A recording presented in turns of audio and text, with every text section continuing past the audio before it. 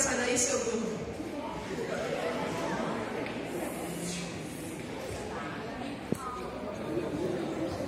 E esta é a escuridão do mundo, falta de amor, falta de união, falta de respeito. A base da sociedade é a família, a família deve se respeitar. Aliás, a educação vem de berço.